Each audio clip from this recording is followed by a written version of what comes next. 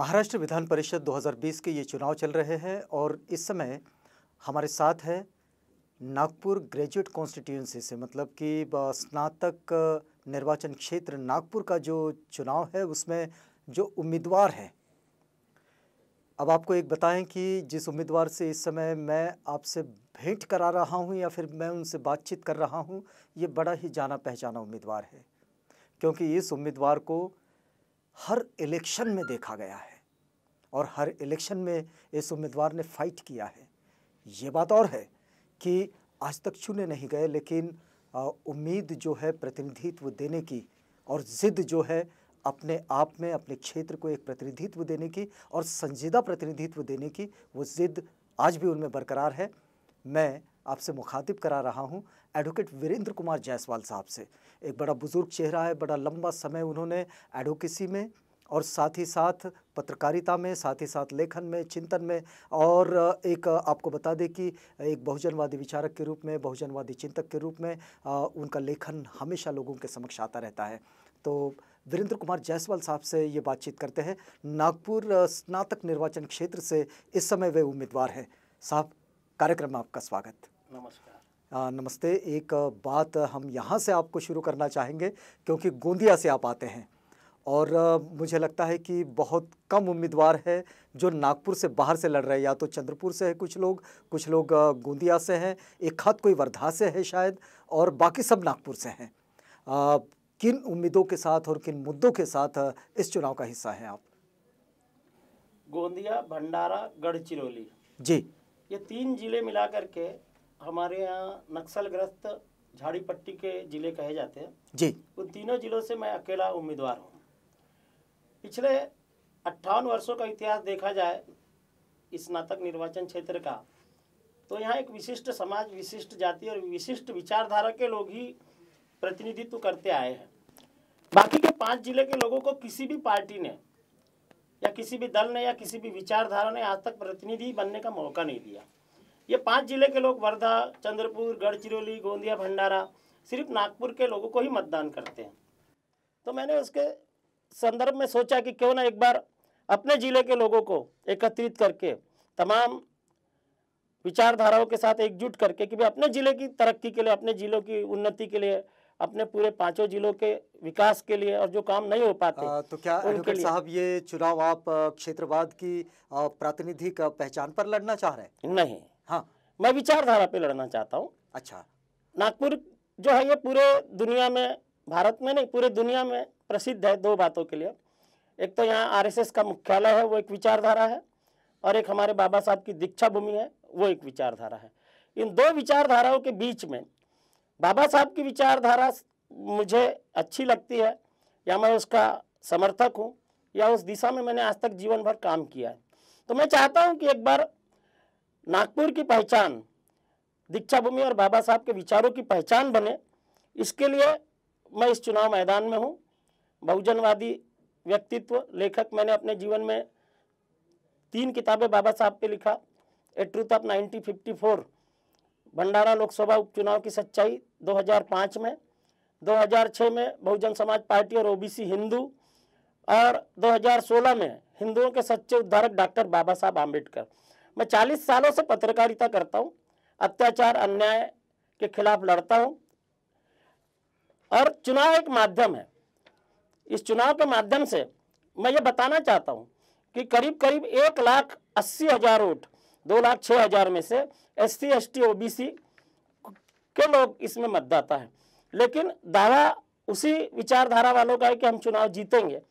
जिनकी मतदाताओं की कोई संख्या नहीं। लेकिन हमारे लोग आज भी वैचारिक रूप से उनकी गुलामी कर रहे हैं। इसलिए मैं चाहता हूँ कि एक बार यहाँ से उनकी गुलामी से हम सबको मुक्त लेकिन एडवोकेट साहब ये जो मैं आपका पर्चा देख रहा हूँ तो आप लिखते हैं कि सभी मतदाताओं के लिए आप छः साल तक निशुल्क रहने की व्यवस्था करेंगे अगर आप चुनकर आते हैं। तो आज तक के मतदाताओं की कोई वैल्यू नहीं है। और इस निर्वाचन क्षेत्र की एक बात और बताता हूँ मैंने। कहाँ रहने की व्यवस्था होगी ये? मुंबई जाते हैं आप कोई भी काम से। तो आपका प्रतिनिधि कौन? जो जिसका प्रतिनिधि रहता है, उसकी व्यवस्था वही करता है, आमदार निवास में। वो आशय है मेरा। आशय ये भी है कि ये जो मतदाता है, ये हर छह साल में क्यों बदल जाते हैं? अगर ये पदवीधर है तो इसका नाम कंटिन्यू रहना चाहिए। जैसे शिक्षक मतदार संघ में एक बार शिक्षकों का नाम एनरोल हो गया। मतलब तो अंदर रहता है। मतदाता सूची पर बात कर रहे हैं। मैं मतदाता सूची पे आपने मतदाता का सवाल उठाया इसलिए उनकी बात कर रहा हूँ। उनके रहने की व्यवस्था उनके खाने की व्यवस्था किसकी ज़िम्मेदारी है? मैं जब उनका जनप्रतिनिधि बन करके मुंबई में रहूँगा उनके मतदान से मैं चुन के आऊँगा उनके कारण मुझे वहाँ बंगला मिलेगा कमरा मिलेगा तो वो उनके लिए समर्पित है ये लिखा हूँ मैंने। आ, लेकिन ए, एक बात तो आप ये भी लिखते हैं कि आप जैसे वकील हो जैसे पत्रकार हो इनको 25-25 लाख रुपया बैंक लोन जो है वो उपलब्ध कराने की आप यहाँ प्रयास की गारंटी देते हैं। देखिए मैं आ, वकील भी हूँ पत्रकार नहीं, भी हूँ। नहीं लेकिन एक एक बात तो मुझे आप ये बताइए कि ये जो बात आप कह रहे हैं ये तो ऑलरेडी योजनाएँ चल रही है। अभी आपको बताता हूँ।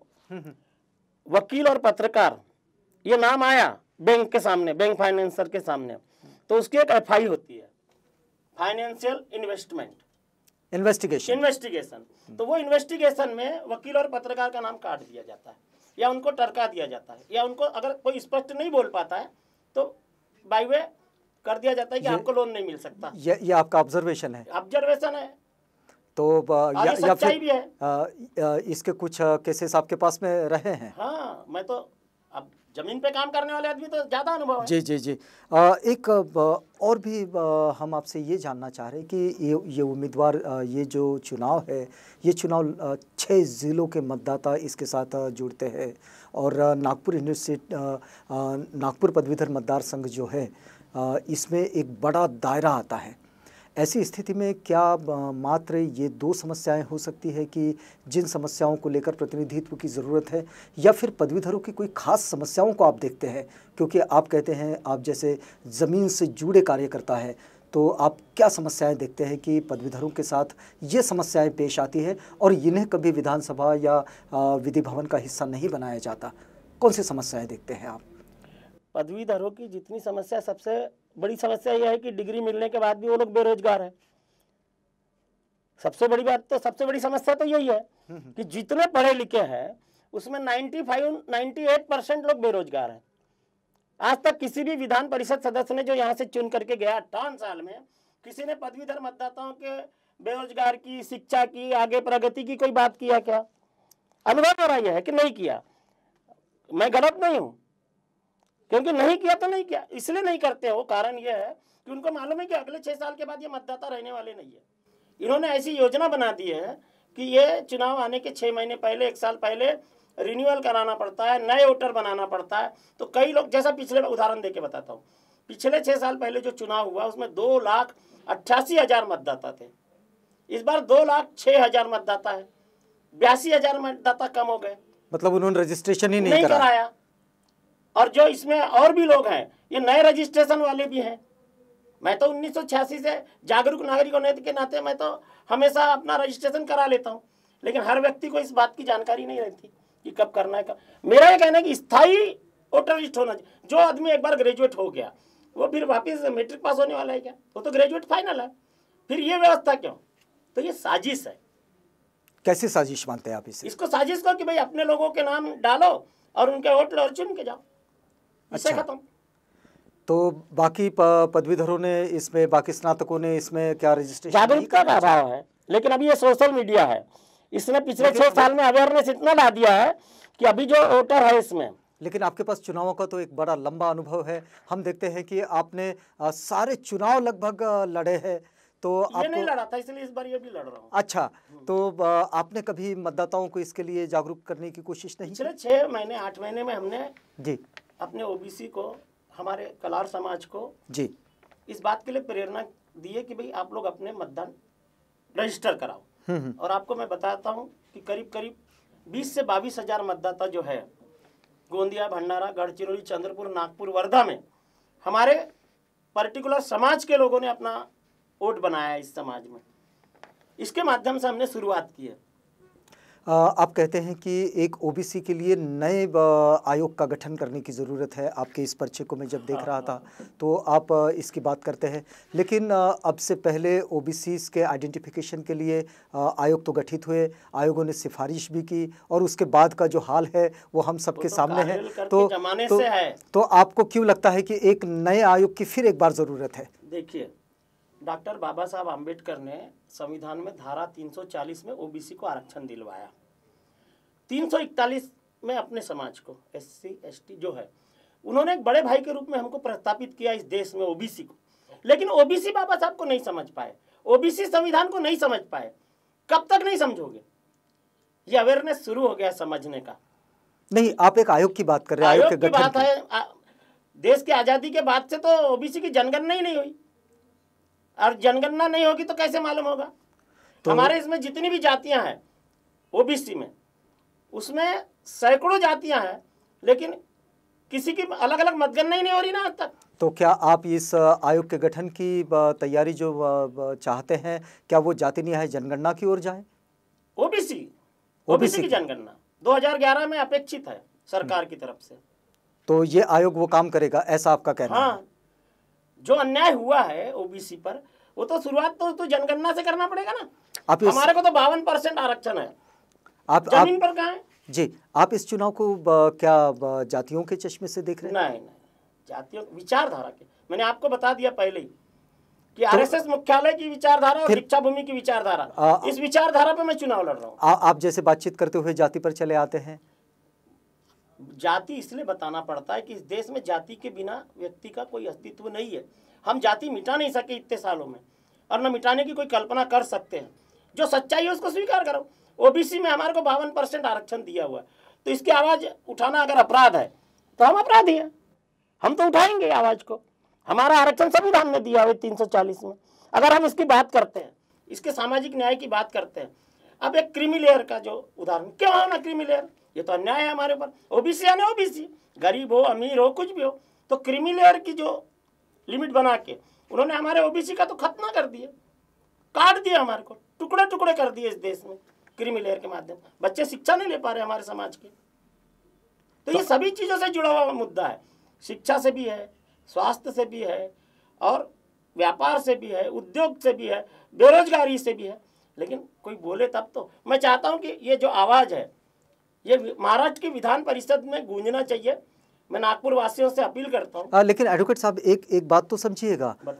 हमारे यहाँ जो सरकारों का जिस तरह से रख रखाव है या फिर सरकारें जिस तरह से बनती है आ, ये तो बहुत सारे बड़े समर्थन के साथ और पार्टियों का नेतृत्व होता है। आ, आप तो अपक्ष चुनाव लड़ रहे हैं आप निर्दलीय है तो ऐसे में आप तो सिर्फ़ आवाज़ पहुँचा पाएँगे आप इन चीज़ों को इम्प्लीमेंट कैसे करवा पाएँगे? कैसे सफलता मिलेगी? कैसा सोचते हैं आप? जो राजनीतिक पार्टियों के प्रतिनिधि चुन के जाते हैं जी। उनके ऊपर पार्टी अनुशासन की तलवार रहती है। वो पार्टी अनुशासन के खिलाफ एक भी शब्द नहीं बोल सकते। मैं भी पार्टी की टिकट ले सकता हूँ। हिंदुस्तान में बहुत सारी पार्टियाँ मैं निर्दलीय क्यों लड़ रहा हूँ इस चुनाव को? ये पदवीधरों का चुनाव है। इसमें राजनीति डालने की क्या ज़रूरत है? अभी जैसे दोनों पार्टी के जो उम्मीदवार है इसमें तो नाम लिखना है नाम के आगे एक लिखना है। वो कमल फूल लेके घूम रहे हैं वो पंजा लेके घूम रहे हैं। ये तो पदवीधरों का चुनाव है। इसमें कमल और पंजे की क्या गरज है? इसमें तो पसंदी का नंबर लिखना पसंदी का नंबर लिखना और नाम जो पढ़े लिखे लोग हैं वोट देने जाने वाले हम्म।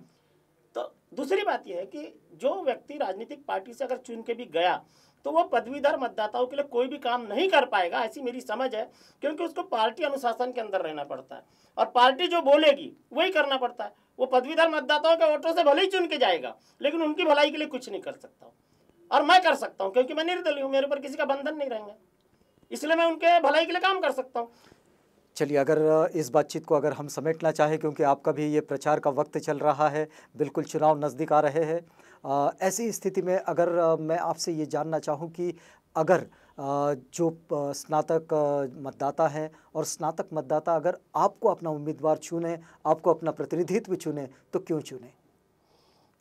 इसलिए कि मतदाताओं की जो आवाज़ है, लोकतंत्र में आपकी समस्या को महाराष्ट्र का जो विधान परिषद है, ये उच्च सदन है। उच्च सदन में मेरी उम्र चौंसठ साल है, पढ़ा लिखा हूँ। आपकी आवाज़ अगर वहाँ उठेगी तो रजिस्टर्ड होती है और वो पूरे देश में गूंजती है, पूरे प्रदेश में गूंजती है। अगर मैं मतदाताओं के बारे में, पदवीधर मतदाताओं की समस्या के बारे में महाराष्ट्र की विधान परिषद में खड़े होकर के कुछ बोलूँगा तो वो आवाज़ सिर्फ़ विधान परिषद के अंदर नहीं रहेगी, पूरे महाराष्ट्र में गूंजेगी। ये आवाज़ आपकी वहाँ, मैं बनना चाहता हूँ। छः साल में क्या करूँगा, क्या नहीं करूँगा, ये जब आप बना देंगे, उसके बाद में आपके सामने आ जाएगा। ये मेरा वादा है।